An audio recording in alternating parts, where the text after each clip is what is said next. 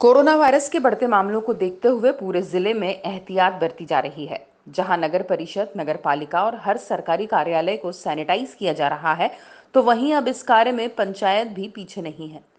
ऐसा ही मामला सामने आया है, खरवाई पंचायत का, जहाँ गेहूँ तुलाई केंद्र, खरबई पंचायत के सरपंच और ग्रामीणों के सहयोग से ग्राम पंचायत को सैनिटाइज किया गया। तो वहीं अनाज तुलाई केंद्र को भी तीसरी बार सैनिटाइज किया गया।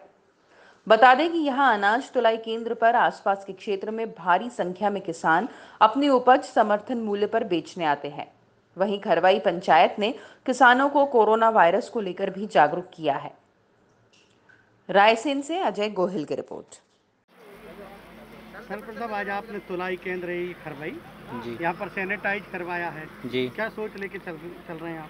ग्राम पंचायत खरवई का गाँव है जो तुलाई केंद्र खरवई यहाँ पे पिछले तीस दिन से ज़्यादा हो गए तुलाई होते हुए और पंचायत की तरफ़ से यहाँ तीसरी बार सैनिटाइज कराया गया है।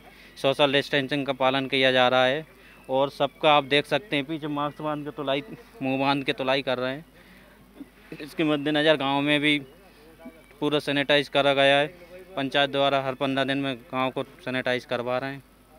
इसी कड़ी में ग्राम प्रशासन के भी निर्देश हैं। उसको देखते हुए सब किया जा रहा है जी। आम जनता को और ग्रामीणों को क्या आप कहना चाहेंगे आप?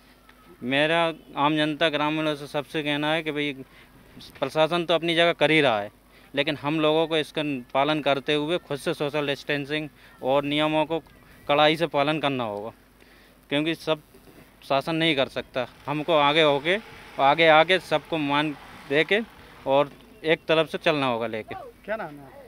मेरा नाम गोविंद शर्मा है और मेरे